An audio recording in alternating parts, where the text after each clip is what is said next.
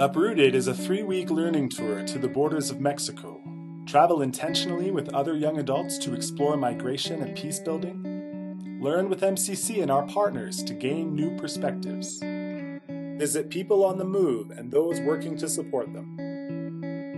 Like right by the border when people get sent back, um, and then they were just sitting in this waiting room, and so we got we were able to hear their stories. Was we met with an 18 year old and a 17 year old from El Salvador. They were leaving because um, the 17 year old was being forced to join a gang. So they were trying to flee to the States so that they, he wouldn't have to join a gang.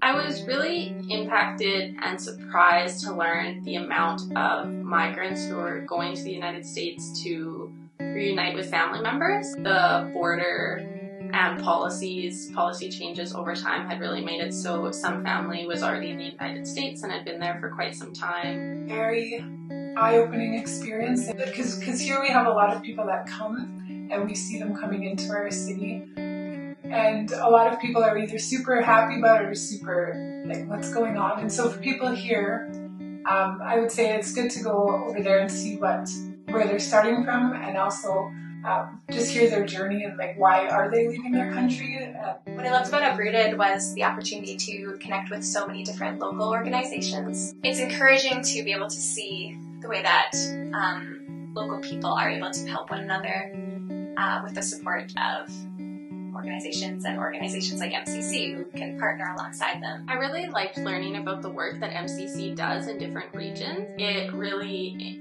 improved my learning experience, being able to have different MCC workers from different places be with us at different parts and points of the tour. And it's definitely changed my perspectives and how I approach issues in that are a popular issues people just don't realize that there's still a huge wall that separates. Go because you get to learn firsthand. You get to meet people and you get to share their stories. It's heavily impacted the way that I've lived my life and the degree path I've taken, and it's made me a more compassionate person. You should go.